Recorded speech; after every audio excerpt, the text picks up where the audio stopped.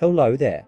Welcome back to our channel. Today, we have some serious news to cover regarding BTS's SUGA, who has recently found himself in the middle of a major controversy. Just a few days ago, SUGA made headlines for being caught driving under the influence while riding an electric scooter. The incident has led to public outrage and significant media attention, both in South Korea and internationally. The news quickly spread beyond South Korea, with major outlets like the New York Times, Billboard, and the BBC picking up the story. This comes at a time when fans around the world were eagerly anticipating BTS's full group activities set to resume next year. Initially, Suga's agency, BigHit Music, referred to the vehicle involved as an electric kickboard, which sparked further controversy. Many felt this term was an attempt to downplay the severity of the incident, given that under South Korean law, electric scooters with seats are classified as vehicles, and driving them while intoxicated is treated with the same seriousness as driving a car under the influence.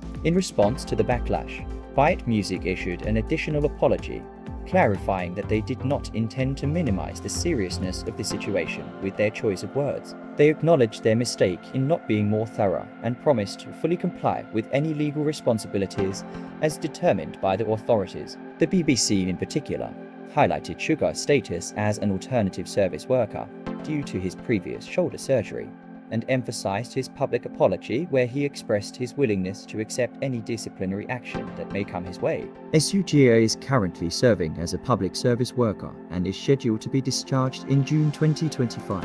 Since the incident happened outside of his working hours, it's unlikely that he will face additional penalties from the military manpower administration. However, the legal repercussions and the public reaction have already taken a toll. What do you think about this incident and the agency's response? Do you think the situation was handled appropriately? Let us know your thoughts in the comments below, and don't forget to like, subscribe, and hit the notification bell so you don't miss any updates on this story and more. Thanks for tuning in. We'll see you next time.